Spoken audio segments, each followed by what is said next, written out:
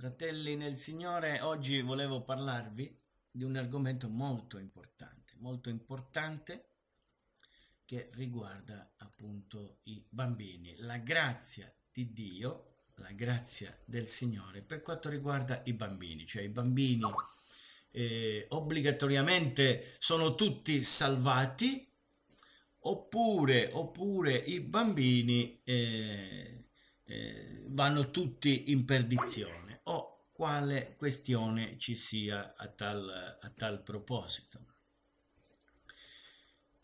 Partiamo, partiamo da uh, Genesi capitolo 2 versetto 17. Il Dio ha dato un ordine ad, al primo uomo e, e alla, uh, al primo uomo ha dato quest'ordine, Genesi 2,17. Ma del frutto cioè eh, 2,16. Mangia pure liberamente del frutto di ogni albero del giardino, ma del frutto dell'albero della conoscenza del bene e del male non ne mangiare.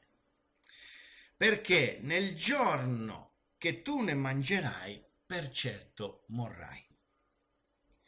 E così avvenne. Cosa avvenne? Avvenne che Eva fu sedotta dal serpente mangiò, mangiò del frutto dell'albero della conoscenza del bene e del male di cui Dio aveva, aveva ordinato di non mangiare e ne diede da mangiare anche ad Adamo. E in quel giorno avvenne, quindi, avvenne che peccarono, perché Adamo ed Eva prima di quel peccato erano puri, erano senza peccato. Allora sbagliarono, peccarono e avvenne quello che Dio disse, che quel giorno, quando, nel giorno che tu ne mangerai, per certo morrai. E infatti morirono, morirono però morirono spiritualmente. La morte a cui si riferiva il Signore era, era la morte spirituale e questa morte spirituale venne in loro. Infatti cominciarono ad avere vergogna, perché quando si pecca poi si ha vergogna, capite? Non so, vi, sarà capitato. Quando si pecca si sente vergogna, si cerca di nascondere il peccato, si cerca di nascondere tutte quelle parti vergognose. Infatti si nascosero, si cominciarono a coprire perché videro anche che erano ignudi. Questo cosa vuol dire? Vuol dire che cominciò in loro ad esserci una concupiscenza carnale e si cominciarono a proteggere, a cercare di coprire. E in quel giorno morirono e furono puniti l'uomo, fu punita la donna, fu punito anche il serpente. Ma oltre, oltre eh, a quello che riguarda loro in quel giorno quando peccarono, c'è da considerare anche qualcos'altro, perché la scrittura, adesso dobbiamo andare in Romani, Andiamo in Romani al capitolo 5. In Romani al capitolo 5 leggiamo queste parole. Capitolo 5 dal versetto 12. Perciò, siccome per mezzo di un solo uomo il peccato è entrato nel mondo e per mezzo del peccato vi è entrata la morte, e in questo modo la morte è passata su tutti gli uomini, perché tutti hanno peccato.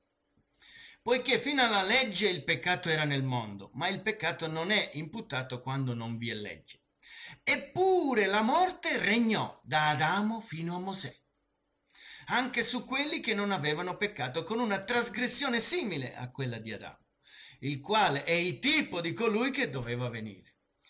Però la grazia non è come il fallo, perché se per il fallo di quell'uno i molti sono morti, molto più la grazia, molto può, molto più la grazia di Dio è il dono fattoci eh, dalla grazia dell'unico uomo, Gesù Cristo. Hanno abbondato verso i molti.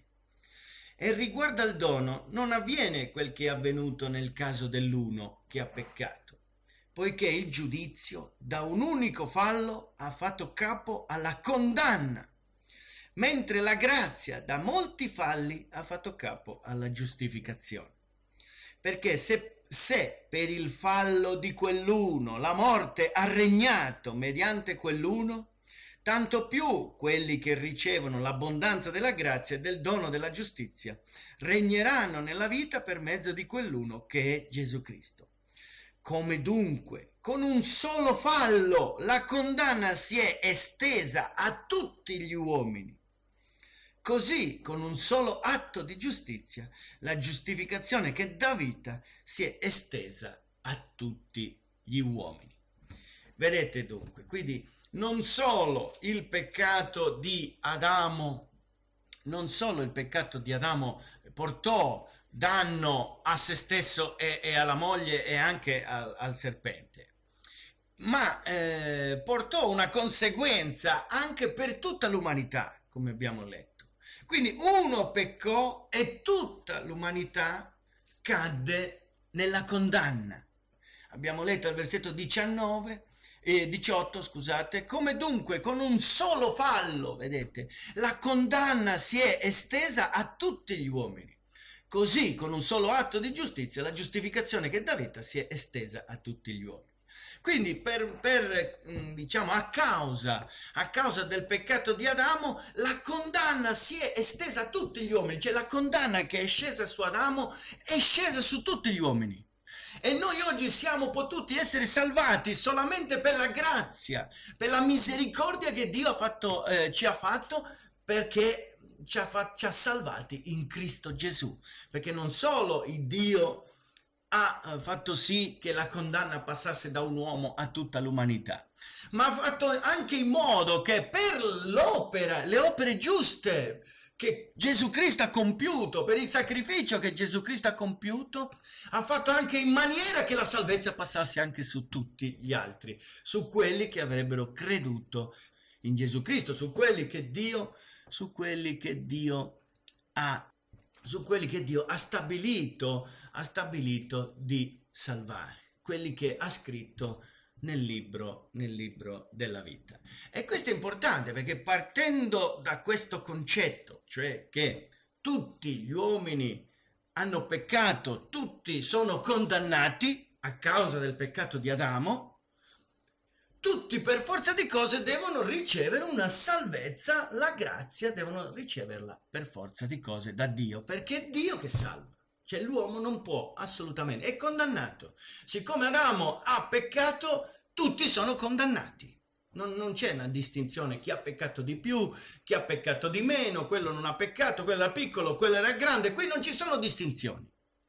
La scrittura non, non va lì a centellinare, a distinguere la questione di età. Il bambino un neonato, qual è la caratteristica del neonato? Il neonato non ha coscienza di peccato, cioè non, non sente il peccato in sé, il bambino. Ma questo non sentire non vuol dire che non lo abbia. Infatti vi voglio ricordare il fatto che eh, eh, anche noi abbiamo, anche come dice il salmista, vi ricordate che lo dice anche il salmista, che dice che perdonami dei peccati che mi sono occulti, cioè il salmista chiede perdono per tutti quei peccati che non sa di avere commesso, quindi non ha coscienza di avere commesso, però li ha commessi, cioè il salmista ammette di averli commessi, ci sono, e così anche noi avremmo commesso qualche volta dei peccati o tutti i giorni qualcosa lo facciamo, peccati che noi non abbiamo coscienza di aver commesso, però li abbiamo commessi. Ecco quindi quando noi ci rivolgiamo in preghiera a Dio, quando ci inginocchiamo davanti a Dio e preghiamo il Signore e diciamo Signore perdonaci per i nostri peccati, se li conosciamo glieli rivolgiamo direttamente, diciamo Signore perdonami per questo, questo e quest'altro ma se ci sono e poi, poi, insieme a questi noi domandiamo perdono anche per quei peccati che ci sono occulti capite? Ci sono occulti cioè che noi non abbiamo coscienza di aver commesso però ci sono però ci sono. Quindi vedete da certe cose quindi il salmista eh, sapeva che Dio addebitava anche anche eh, questo peccato anche su quelli, su quelli che peccavano anche senza coscienza, eh? senza avere coscienza di aver commesso peccato. E quindi bisognava, bisognava chiedere perdono a Dio anche per quei peccati. Per quanto riguarda ora, abbiamo visto quindi che, eh, eh, abbiamo visto che il peccato di Adamo ricade su tutta l'umanità. Ma vediamo anche cosa dice per quanto riguarda il concepimento. Se andiamo a leggere il Salmo 51, Salmo 51 si leggono queste parole. Il salmista. Sta scritto 51, 5. Ecco, io sono stato formato nella iniquità e la madre mia mi ha concepito nel peccato. Quindi, vedete, qui il salmista cosa, cosa sta dicendo? Che poi è Davide che parla. Sta dicendo che anche il bambino che è concepito nel seno materno, vedi, sono stato formato, sono stato formato nella iniquità, vedete? Quindi quindi il peccato che lo tocca anche al bambino mentre viene formato nel seno materno. La madre mia mi ha concepito nel peccato. Nel momento del concepimento de, si commette del peccato che si trasmette al fanciullo, si trasmette al bambino, perché così il Dio ha stabilito. E questo lo si capisce bene, lo si capisce esaminando la nascita di Gesù. Cioè, così raffrontando queste cose con la nascita miracolosa e potente di Gesù, ci rendiamo conto del perché Gesù è dovuto nascere in quella maniera miracolosa. Non perché doveva fare un miracolo in più, non è semplicemente un miracolo compiuto da Dio nel seno materno di Maria, non è semplicemente un miracolo, ma era una necessità era una necessità assoluta perché Gesù doveva venire sulla terra senza essere contaminato da peccato alcuno, capite? E siccome nel, nel, eh, eh, con il col concepimento tra marito e moglie di un fanciullo c'è del peccato, perché qui il salmista lo dice, ecco perché è dovuto intervenire con un miracolo lo Spirito Santo. È dovuto intervenire lo Spirito Santo affinché Gesù fosse senza peccato fosse concepito senza peccato, nas- eh, nascesse senza peccato e vivesse senza peccato, per poter essere quel sacrificio perfetto al quale noi guardiamo per essere salvati, al quale noi abbiamo guardato, è meglio dire noi che siamo nati di nuovo, a quel sacrificio a cui noi abbiamo guardato per essere salvati. Quindi vedete quel punto del concepimento è importante, è molto importante, è così importante che Gesù lo ha dovuto saltare quel passaggio, capite? Nel senso che ha dovuto, Dio è dovuto intervenire in una maniera per far venire Gesù sulla terra senza peccato alcuno sulla sua carne, non, non ha dovuto permettere perché altrimenti, altrimenti se non ci fosse peccato che si trasmetteva al fanciullo avrebbero potuto avere un rapporto normale tra Giuseppe e Maria e, na- e, nasceva Gesù. Non sarebbe cambiato nulla. Cioè, che cosa cambiava? Gesù avrebbe vissuto sempre la sua vita normale, senza peccare, e, e saremmo arrivati alle stesse conclusioni che leggiamo nelle scritture, no? Ma non era possibile perché la scrittura nella contaminazione tra uomo e donna eh, tra marito e moglie, meglio dire, c'è, eh, c'è, anche se è naturale, perché Dio ha stabilito così, però la scrittura dice che una contamin- c'è una contaminazione, c'è un peccato che si trasmette al, al, al bambino e quindi il bambino non possiamo dire che quel bambino è senza peccato. Perché anche il fatto che Gesù, vedete, è nato in quella maniera miracolosa, era appunto per essere esente dal peccato. Stiamo percorrendo questi passaggi per capire se possiamo dire che i bambini possono essere salvati da loro stessi, va bene? Perché se un bambino lo, de- lo decretiamo noi senza peccato, no? Eh, eh, allora è salvato così, perché se è senza peccato è salvato, senza l'intervento di Dio, capite? Se invece c'è il peccato, ecco che è necessario l'intervento di Dio. Ma badate bene, la questione è appunto questa, non ci può essere un essere vivente, un uomo salvato, piccolo o grande che sia, senza l'intervento di Dio, per la sua misericordia, per la sua grazia, per il suo dono della salvezza, non perché uno se l'è meritato. Il merito oppure essere esenti da peccato non esiste nell'umanità, non ci può essere, non ci può essere in maniera assoluta. Persino il peccato era anche in Giovanni Battista, anche se era ripieno di Spirito Santo fin dal seno materno, eh, era anche lui. Quindi, quindi non è che Giovanni Battista è stato salvato per, per eh, è stato salvato per meriti suoi. No, Giovanni Battista, anche lui è stato, benché ripieno di Spirito Santo fin dal seno materno, anche lui è stato salvato per la grazia di Dio, come tutti gli altri, non c'è nessuno escluso, sia Nuovo Testamento che Vecchio Testamento, attenzione, perché nel Vecchio Testamento non è che sono stati salvati, eh, ehm, sono stati salvati per, ehm, per, per opere, no, No, anche nel Vecchio Testamento sono stati salvati tutti per la misericordia di Dio, nella stessa maniera di noi oggi. Solo che noi oggi la differenza che c'è sotto la grazia dalla venuta di Gesù qual è? È che l'esposizione della salvezza per mezzo della fede nel sacrificio di Cristo è, è, è diversa, cioè ci è stata è, è spiegata eh, in maniera molto, molto più chiara mentre nella legge c'era la stessa salvezza per fede, ma era più nascosta, quindi, quindi quelli a cui Dio lo rivelava anche nel Vecchio Testamento, anche nel Vecchio Testamento, a quelli a cui Dio lo rivelava, eh, gli era rivelato e venivano salvati. Quindi non c'è tutta questa differenza tra il Vecchio per quanto riguarda la salvezza, non c'è differenza tra il Vecchio Testamento e il Nuovo Testamento. La fede in Dio avevano nel Vecchio e la fede in Dio devono avere eh, nel Nuovo. Però non possiamo dire quindi che ci sono più salvezze, non si può dire, c'è una salvezza unica che avviene solamente per la grazia di Dio. Questo sto cercando di, di farvi comprendere, che essendo il peccato, eh, avendo il peccato contaminato tutta l'umanità, per forza di cose, per essere salvati ci vuole l'intervento di Dio. Quindi a questo punto io dico, vabbè ma eh, allora i bambini sono salvati o non sono salvati? Non c'è una risposta definitiva che vale per tutti.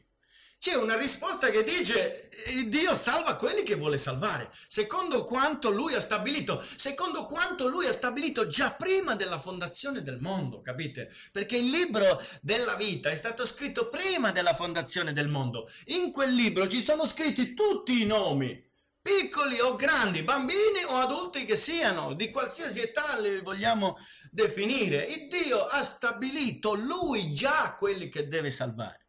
Quindi io non posso dire che tutti eh, i fanciulli ehm, andranno a finire all'inferno. Non posso dire che tutti i fanciulli, tutti i bambini, tutti i neonati, chiamateli di qualsiasi grandezza di età vogliate, non posso dire che tutti sono salvati o tutti sono perduti. Non si può dire, perché, come abbiamo parlato prima, il peccato caduto è, è caduto su tutta l'umanità, piccoli e grandi che siano. Anche i fanciulli pagano la conseguenza dei padri. E adesso andiamo a vedere, andiamo a vedere che questo non è avvenuto solamente, cioè questo ragionamento noi non lo possiamo fare solamente ed esclusivamente con quei versetti che abbiamo citato finora, ma ne facciamo altri. Adesso andiamo a leggere il secondo comandamento, Esodo 20. Il secondo comandamento, che è noto per quanto riguarda le statue, ma è meno noto per la seconda parte di quel comandamento, ma è sempre il secondo comandamento. Eh.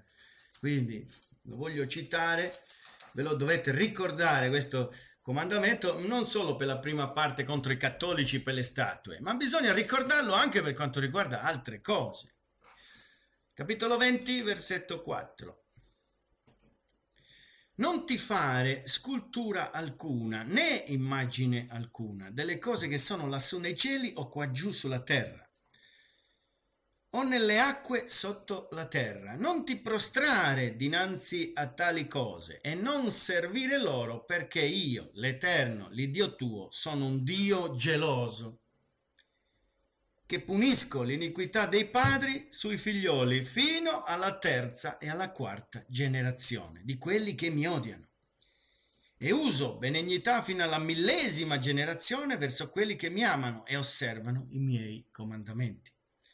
Quindi vedete, dopo le statue dice perché, perché, eh, eh, eh, perché io, l'Eterno, l'Iddio tuo, sono un Dio geloso che punisco l'iniquità dei padri. Vedete, punisco. Quindi l'iniquità dei padri sui figlioli. Ora, questo avviene. E avviene, allora, questo avveniva nel Vecchio Testamento, eh, nella legge, ma noi, eh, la scrittura ci insegna che questo secondo comandamento è ancora valido per intero anche sotto la grazia e lo possiamo vedere, eh, dobbiamo andare nell'ultimo libro, nell'ultimo libro della Bibbia, in Apocalisse, leggiamo queste parole. Al capitolo 2 di Apocalisse dal versetto uh, 20. Dal versetto 20 leggiamo queste parole. Ma ho questo contro te, che tu tolleri quella donna Jezebel che si dice profetessa e insegna e seduce i miei servitori, perché commettano fornicazione e mangino cose sacrificate agli idoli. E io le ho dato tempo per ravvedersi, ed ella non vuole ravvedersi della sua fornicazione. Ecco, io getto lei sopra un letto di dolore e quelli che commettono adulterio con lei in una gran tribolazione, se non si ravvedono delle opere d'essa.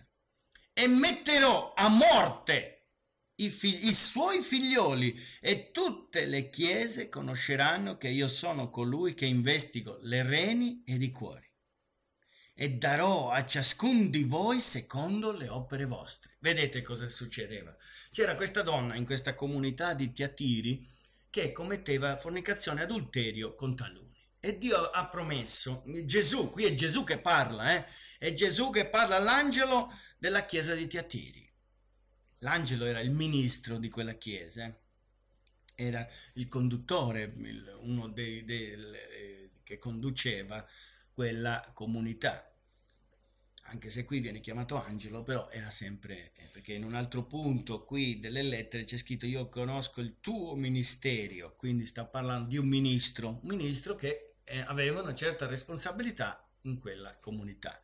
Di conseguenza dobbiamo intenderlo in questa maniera, non era un, un angelo di quelli che hanno, cioè un angelo in se stesso, ma angelo va inteso come parola, come messaggero di Dio in quella comunità. Comunque, Gesù parla e gli dice questo appunto che stava, stava, sbagliando a tollerare quel peccato di quella donna con gli altri che commettevano adulterio con lei. E Gesù ha promesso di punire lei e quelli che facevano fornicazione adulterio con lei. Ma non solo, Gesù se non si ravvedevano ha promesso anche di mettere a morte i suoi figlioli. Sì, a morte i figli. Ma questo ci fa capire, vedete, come c'è eh, una responsabilità dei genitori che può ricadere sui figli e quindi c'è anche un giudizio sui figli, vedete? Quindi non, non sta eh, qui Gesù, non ha detto niente di strano perché non, non sta facendo altro che ricordare, che ricordare che il secondo comandamento è ancora oggi applicato, non cambia niente non cambia niente, non, è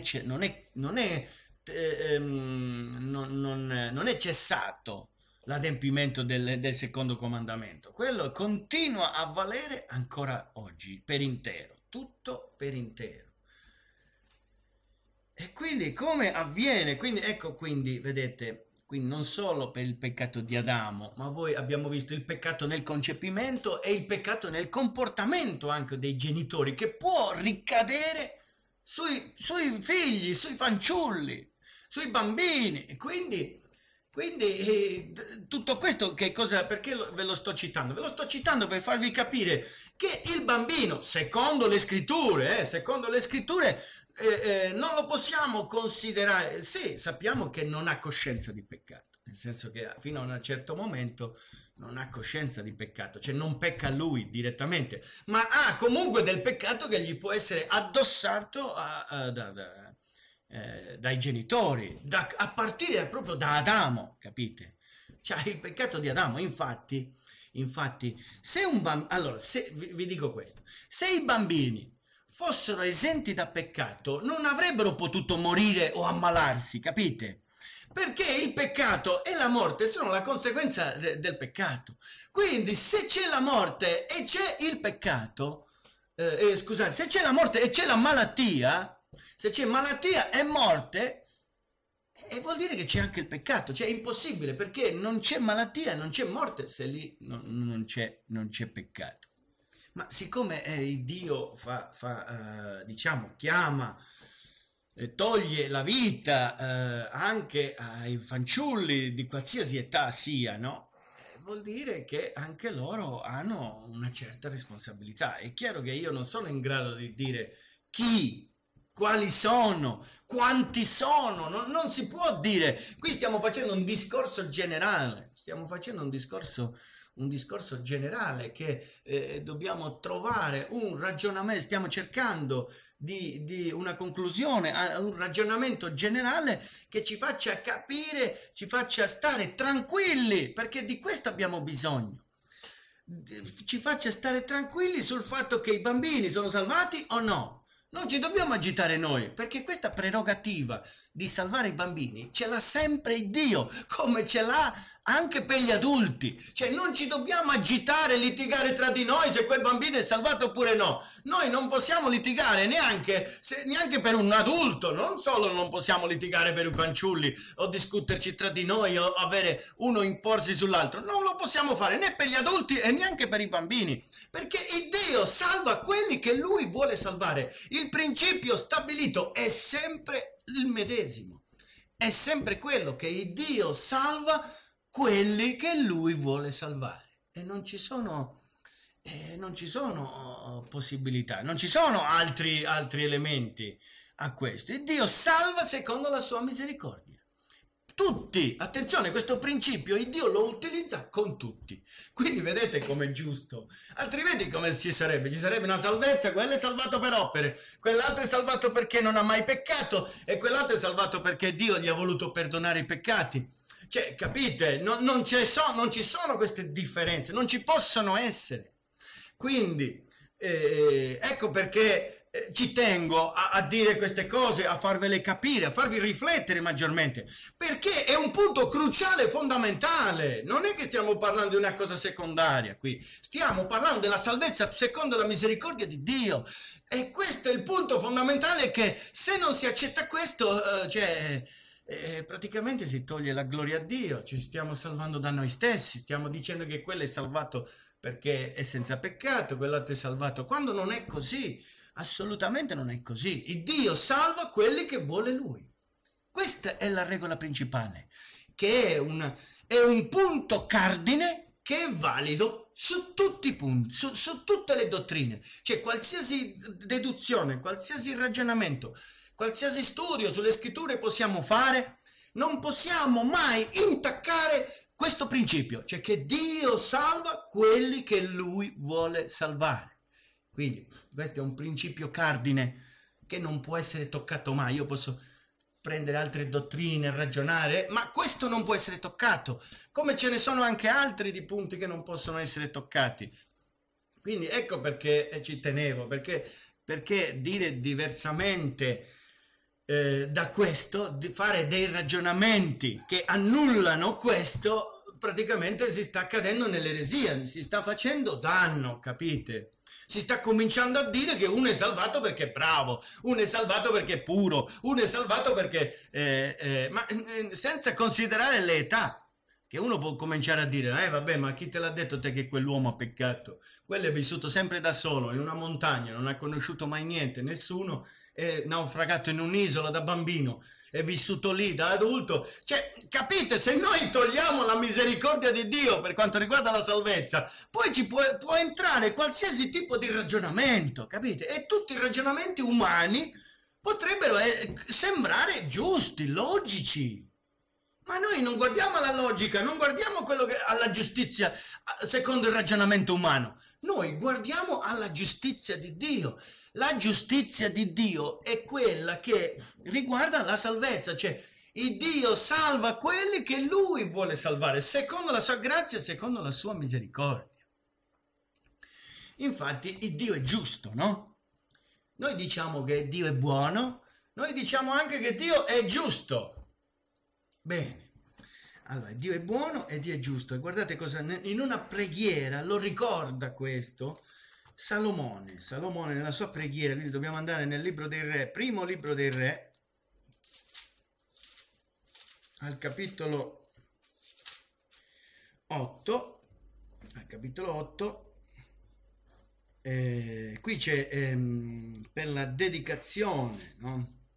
Per la consacrazione del Tempio, il popolo si è riunito e Salomone fa una preghiera, una preghiera che è rimasta nelle scritture, ispirata da Dio, dallo Spirito Santo. Guardate cosa riconosce in questa preghiera Salomone, nella sua sapienza. Capitolo 8 di Prima Re al versetto, eh, leggiamo dal 31. Se uno pecca contro il suo prossimo e si esige da lui il giuramento per costringerlo a giurare, se quelli, se quegli viene a giurare davanti al tuo altare in questa casa, tu ascoltalo dal cielo, agisci e giudica i tuoi servi. Condanna il colpevole facendo ricadere sul suo capo i suoi atti e dichiara giusto l'innocente, trattandolo secondo la sua giustizia. Vedete cosa si capisce da questo passaggio? Salomone invocava la giustizia di Dio in questa preghiera cioè quando ci, sarebbe stato, ci sarebbero stati dei casi che, su cui Dio avrebbe giudicato, Salomone invoca appunto la giustizia di Dio, cioè il Dio tu, eh, eh, il colpevole puniscilo, ma l'innocente tu no, non giudicarlo, non condannarlo, va bene? L'innocente. Perché è importante, o sto introducendo questo discorso? Perché qualcuno potrebbe dire sì, ma un neonato è innocente di tutto. E quindi, però, dicendo questo, dicendo questo, allora dobbiamo considerare, va bene, ammettiamo che, che il neonato è innocente, il bambino, io dico bambino genericamente, poi l'età mettetela voi, eh, sto, mi sto riferendo a bambini incoscienti che non hanno coscienza di peccato, uso la parola bambino. Mettiamo che questo bambino, mettiamo che sia così, no? Che il bambino non ha coscienza di peccato eh, e quindi quindi è innocente. Possiamo dire che è innocente, cioè è lì, è, è, non è contaminato dal peccato. Allora, allora leggiamo, allora eh, ricordiamoci questo. Andiamo in Genesi, capitolo 18. Al capitolo 18 avviene la distruzione di Sodoma e di Gomorra. Guardate bene che la distruzione di Sodoma e di Gomorra è avvenuta in maniera totale e assoluta. In quella distruzione c'è Abramo che intercede per i giusti di Sodoma. Va bene? E da quella città uscirono, uscirono Lot, sua moglie e le sue due figlie. Va bene?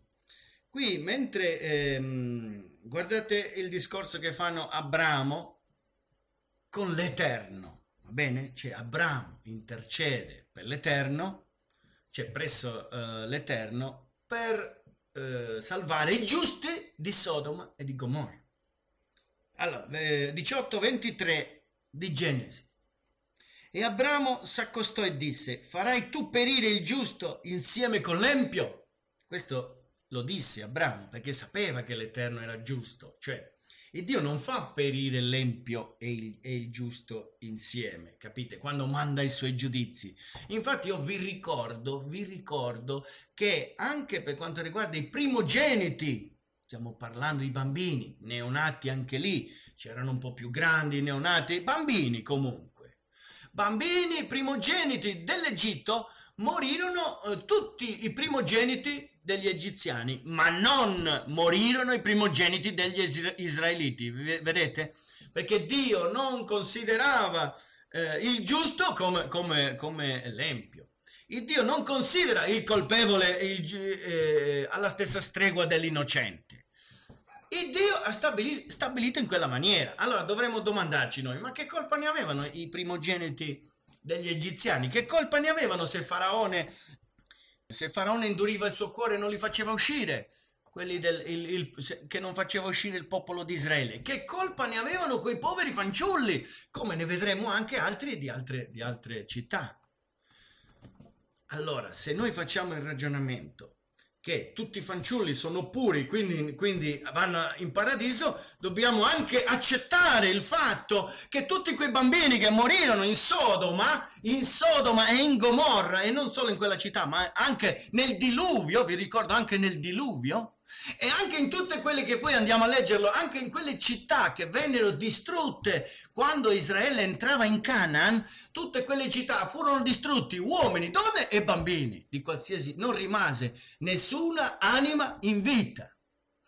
Allora, se noi diciamo che i bambini quindi riguarda tutte le età. Se noi dobbiamo, per ipotesi, dire che tutti i bambini sono innocenti, quindi sono salvati, allora dobbiamo anche accettare che Dio non è giusto, che Dio ha fatto uccidere dei bambini che erano innocenti.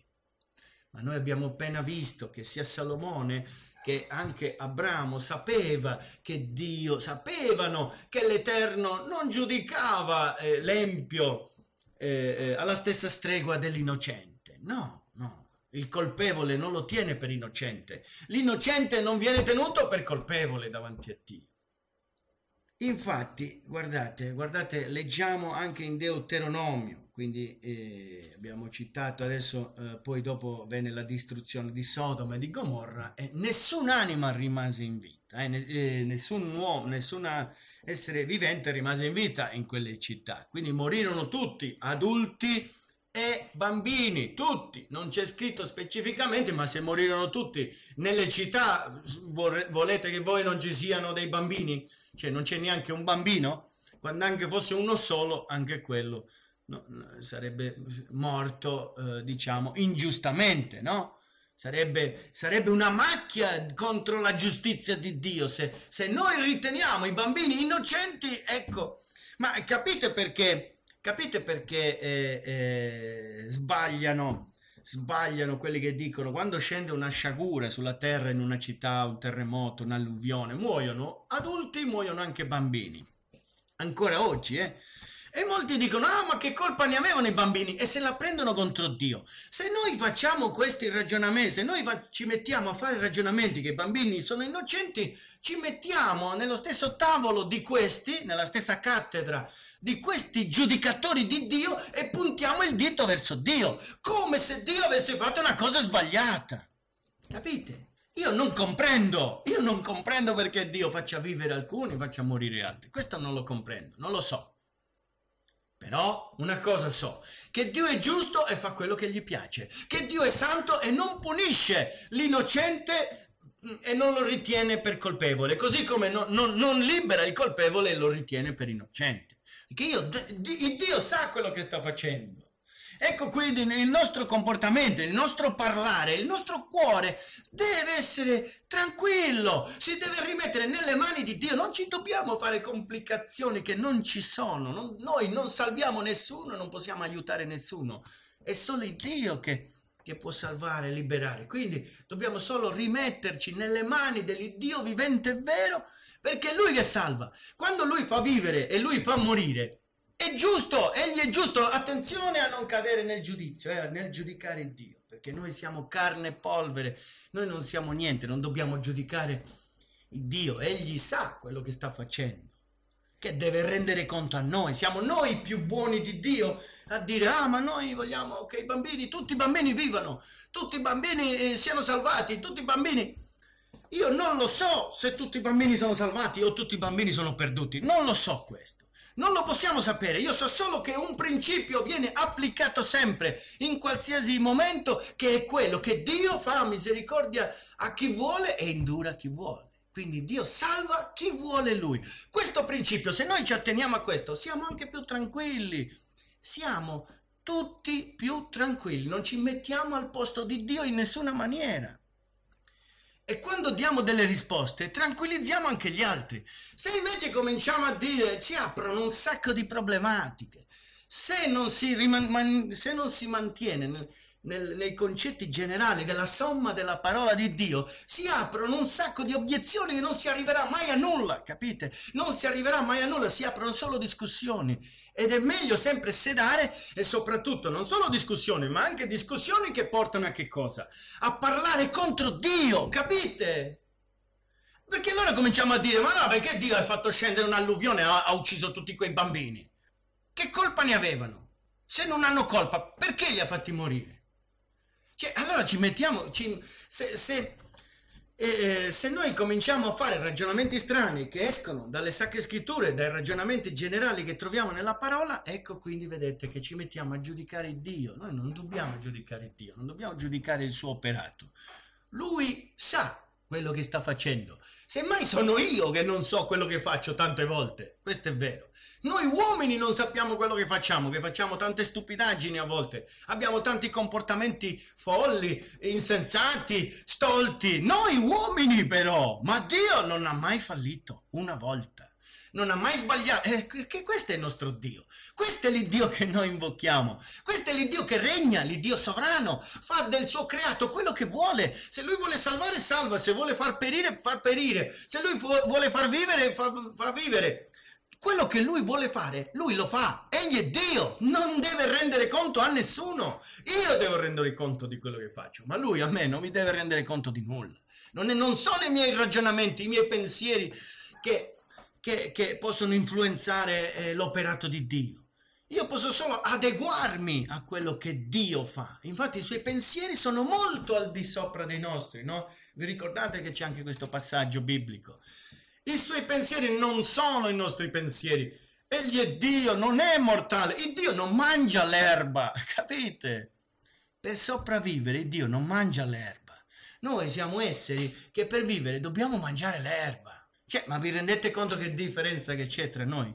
Noi, alla fine, sul mantenerci in vita, cioè, questo per farvi capire che, che, che sapienza possiamo mai... Cioè, che differenza c'è tra noi e Dio. Il Dio riempie i cieli e la terra.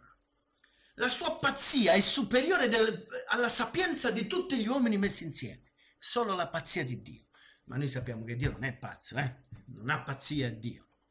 Però stiamo facendo un esempio come l'ha fatto Paolo. Quindi la sapienza di Dio è, è talmente superiore alla nostra che noi non ci possiamo neanche avvicinare a capirla. Il Dio nelle scritture ci ha lasciato scritto quel minimo che noi potremmo forse anche capire, ma molte cose già non le comprendiamo, va bene? Infatti Gesù gli disse a Nicodemo, e voi non, non comprendete le cose di questa terra, come comprenderete se io vi parlerò delle cose celesti? Ma questo per farvi capire, per farci capire che ci sono molte cose che dobbiamo sapere ancora, che noi non riusciamo a intendere. Cioè, siamo così piccoli e così la nostra mente, il nostro cuore è così piccolo, non riesce a contenere la gloria dell'Iddio vivente e vero, non riesce a contenere la sapienza dell'Iddio potente e glorioso che noi invochiamo. Quindi questo lo sto dicendo affinché voi vi tranquillizziate quando sentite che uno è vissuto, l'altro è morto e Dio fa quello che vuole. A Dio sia tutta la gloria, capite? Perché Egli fa quello che vuole, Egli non sbaglia, Egli è Dio. Quindi non dobbiamo in alcuna maniera ritenere che il Signore qualsiasi cosa faccia sbagli. Leggiamo adesso, a conferma di quello che stiamo dicendo, in Deuteronomio le parole di Mosè capitolo 2, Deuteronomio 2. Allora, qui praticamente Mosè eh, nel, nel, libro di Deuteronomio viene chiamato anche il libro della ripetizione della legge. No? Quando Israele arrivò davanti a Canaan, quando arrivò là, allora prima di entrare, prima di, di andare avanti, in un certo punto Mosè scrisse questo libro come ripetizione un po', come per ricordare quello che avvenne e quello che eh, avevano fatto fino a quel momento. Tra le cose che erano state fatte, guardate Mosè cosa dice, quindi capitolo 2 abbiamo detto versetto 34, ehm, dal 31.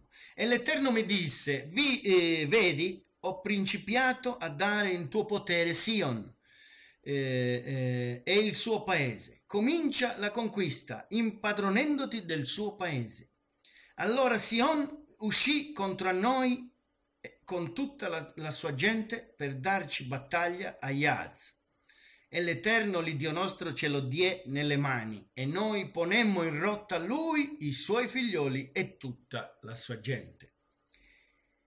E in quel tempo prendemmo tutte le sue città e votammo allo sterminio ogni città. Uomini, donne, bambini, non vi lasciammo anima viva. Vedete? Non solo il Dio aveva distrutto Sodoma e Gomorra, uomini, donne e bambini, aveva anche durante il diluvio, no? Vi sapete il diluvio, il Dio distrusse tutto, tutti morirono, uomini, donne e bambini. Qui dice che Israele sarebbe, era entrato a distruggere certi re che erano in Canaan e distrussero uomini, donne e bambini, li uccisero, non rimase anima in vita, in vita nel senso l'anima è immortale, qui vuol dire non rimase, non rimase eh, persona viva, vuole intendere in questo senso. Eh, non... quindi, quindi, vedete, questo, eh, se noi considerassimo che i bambini sono puri, lo dovremmo considerare per tutte le generazioni e per tutte le nazioni. Cioè, non è che il bambino eh, sarebbe puro solo il bambino cristiano, eh, perché il bambino cristiano neonato o nel seno materno è esattamente uguale al bambino eh, in, di natura, è esattamente uguale di natura a un bambino musulmano, a un bambino eh, diciamo eh, buddista o, o di, altre, di, altre, religioni. Capite? Cioè, dal punto di vista proprio fisico, fisiologico, no? i bambini sono tutti uguali, appena nascono non è che eh, se li dobbiamo considerare senza peccato, anche i bambini cananei, quelli di Sodome e di Gomorra, quelli anche durante il diluvio, doveva, anche quelli dell'Egitto, eh, i primogeniti di Egitto, anche quelli dovevamo considerare innocenti. Ma non li considerò così il Dio. Allora, noi che vogliamo fare dei bambini innocenti stiamo giudicando il Dio, capite? Quindi bisogna stare attenti.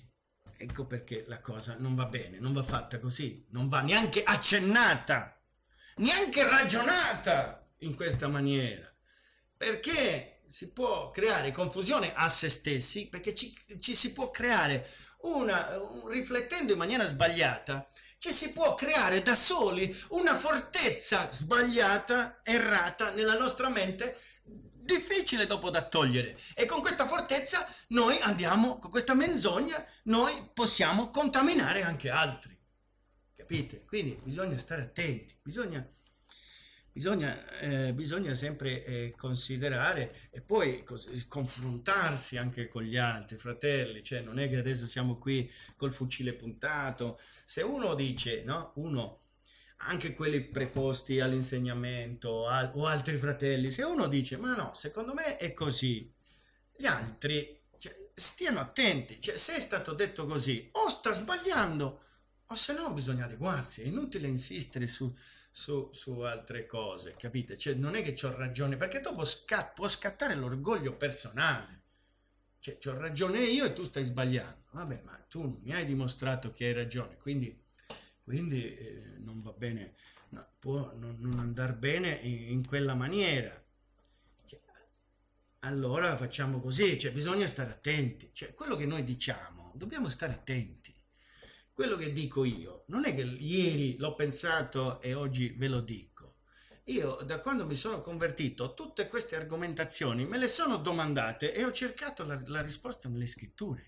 Negli anni ho sempre cercato risposta, le stesse risposte nella scrittura, anche se avevo già trovato, se io avessi trovato dei passi che annullavano la, la, la, mia risposta, io l'avrei avrei modificato.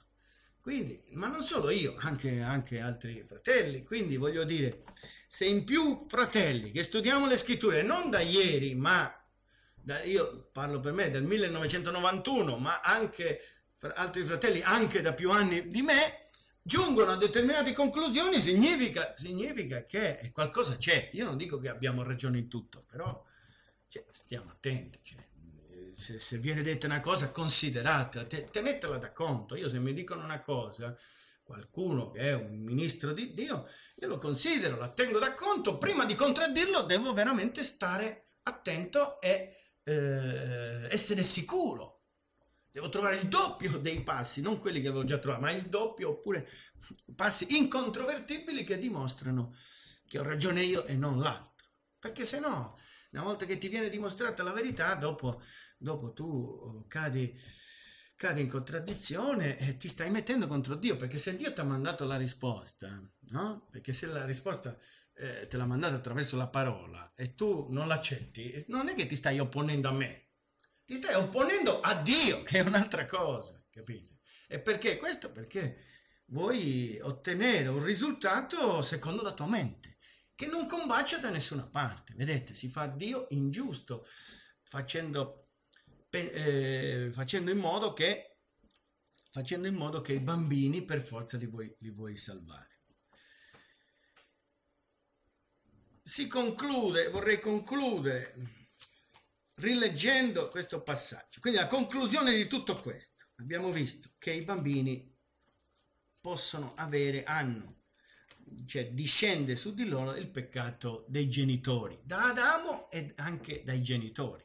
Abbiamo visto i giudizi di Dio che sono scesi sopra sia, eh, ehm, sia gli adulti che anche i neonati, quindi sono stati trattati tutti alla stessa stregua vuol dire, e sappiamo bene che Dio non tratta il colpevole per innocente o l'innocente per colpevole, altrimenti se, se, se trattava l'innocente, il bambino innocente come colpevole, il Dio sarebbe ingiusto, quindi non possiamo arrivare a quella conclusione, di conseguenza dobbiamo dire che Dio è giusto, quindi quando fa morire i fanciulli, li fa morire perché lui ha un motivo ben preciso, così vuole fare e così fa che egli ha preparato i vasi, anche i vasi a perdizione, vi ricordate quel passo in Romani 9, 9, ehm, eh, 9 22, e che v'è mai da replicare se Dio, vedete come parla Paolo, che vi è mai da replicare, perché sapeva bene che a certi concetti, certi ragionamenti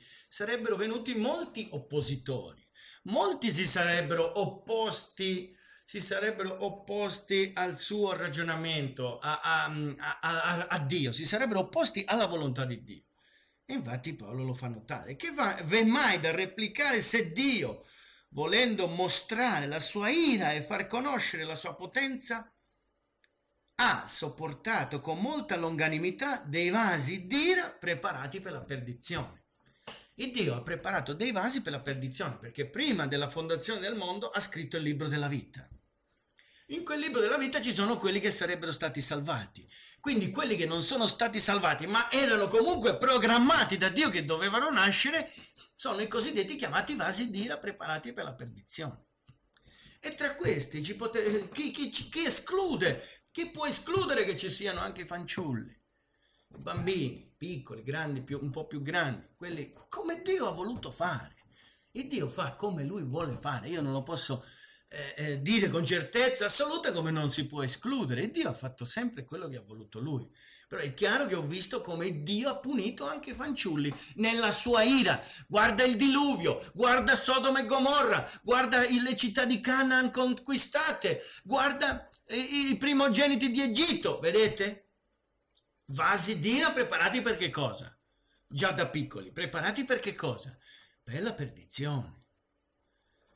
Quindi, quindi eh, chi può dire che i fanciulli sono tutti salvati o i fanciulli sono tutti, possono, devono vanno tutti in perdizione perché non hanno creduto? No, perché sarebbe questo. Da una parte possiamo dire solo quelli che hanno creduto possono essere salvati e lì c'è una problematica. Dall'altra c'è sì, ma non hanno peccato mai e quindi devono essere salvati per forza. Io non la metterei su questo, io considererei questo passaggio biblico che, che racchiude tutta la volontà di Dio. Quindi Romani 9 al versetto 16. Non dipende dunque né da chi vuole né da chi corre, ma da Dio che fa misericordia. Vedete, la salvezza da chi dipende? Che siano grandi, piccoli, neonati o ancora nel seno materno, da chi dipende la salvezza? La salvezza dipende esclusivamente da Dio. Quindi a Lui dipende la salvezza. Io non mi creo il problema del fanciullo dove è andato. Non bisogna crearselo. Quelli che se lo creano è perché vogliono, vogliono creare discussioni, no? Ci sono quelli che vengono, ti attaccano, ah ma tu sei ingiusto di qua, ma, ma non stanno giudicando te, stanno giudicando il Dio, capite? Perché allora dovremmo dire, allora il Dio è stato ingiusto, ha distrutto il diluvio e col diluvio ha distrutto tutte que quelle, quelle persone e c'erano anche i bambini. Ma perché i primogeniti di Egitto? Allora dobbiamo giudicare Dio anche per i primogeniti di Egitto. Non poteva uccidere Faraone e tutti i suoi servitori. Perché uccidere i primogeniti? Cosa c'entravano i bambini piccoli? Capite? Cioè, ma se facciamo ragionamenti umani, se noi ci mettiamo a fare ragionamenti secondo la nostra bontà, la nostra misericordia, ma noi usciamo fuori di strada, noi non dobbiamo ragionare con la nostra mente, è così, noi dobbiamo ragionare con la mente di Cristo, che è un'altra cosa, dobbiamo ragionare con la parola di Dio. Non è che dobbiamo perdere il nostro eh, eh, eh, spirito critico, no? Di analisi, no, non sto dicendo questo ma il ragionamento che dobbiamo fare lo dobbiamo fare alla luce della parola, della somma della parola, non, non leggere le scritture, dobbiamo stare attenti a non fare l'errore come fanno tanti altri purtroppo, di leggere le scritture cercando quello che ci interessa. Noi non dobbiamo cercare quello che ci interessa, noi dobbiamo cercare la verità, che è un'altra cosa. Anche quando i passaggi biblici non mi piacciono, eh, sono quelli. Io preferirei salvarli tutti i bambini. Vedete, io da, sto ragionando con la mia testa adesso, no? Io li salverei tutti i bambini, va bene? Pregherei Dio, Dio, Signore, io li salverei tutti i bambini. Che colpa hanno? Non hanno nessuna colpa. Ma chi sono io? E Dio fa quello invece che vuole Lui, non quello che voglio io. Secondo la mente di Cristo, secondo la parola di Dio, io invece devo ragionare in un'altra maniera, come ho ragionato oggi. Ho dovuto esaminare se le scritture mi dicono che il bambino può essere veramente senza alcun peccato, se c'è una possibilità che sia salvato perché non ha peccato, e se invece le cose non stanno così, come stanno? Io eh, comunque eh, sono ottimista, nel senso che voglio, voglio, eh, voglio eh, comunque rimettermi nelle mani di Dio e accettare questo passaggio che Dio fa misericordia a chi vuole, quindi anche per quanto riguarda i bambini anche per quanto riguarda i bambini, il Dio fa misericordia a chi vuole. E vi ricordo, finiamo con il capitolo 20 di Apocalisse, guardate eh, tutti quelli che eh, furono giudicati, quindi Apocalisse 20, Apocalisse 20, 20, 15, Apocalisse 20, 15 dice e se qualcuno non fu trovato nel libro della vita, fu gettato nello stagno di fuoco. Vedete? Qui non si tratta né di piccoli né di grandi né di, di, di niente, né Vecchio Testamento né Nuovo Testamento, né che uno era gentile né che uno era ebreo. Quelli che vanno in perdizione vale una regola soltanto, che è questa. Quelli che non furono trovati nel libro della vita furono gettati nello stagno di fuoco. Quindi io come ragiono? I bambini che muoiono, se non sono scritti nel libro della vita, sono perduti. Se sono scritti nel libro della vita, sono salvati. Questo è il ragionamento fondamentale, è come, è come la stessa cosa del passo che abbiamo letto prima in Romani, cioè che eh, eh, Dio fa misericordia a chi vuole Lui, a chi ha deciso di fare misericordia. Quindi quindi su questo argomento eh, così eh, sono le cose, avremmo potuto citare tanti altri passaggi, fare tanti altri ragionamenti, ma la conclusione non si può uscire da questo, non si può comunque uscire da questo, che, che Dio fa misericordia a chi vuole Lui. E con questo termino il messaggio che ho voluto darvi questa sera. A Dio siano la gloria, l'onore e la lode nei secoli dei secoli. Amen.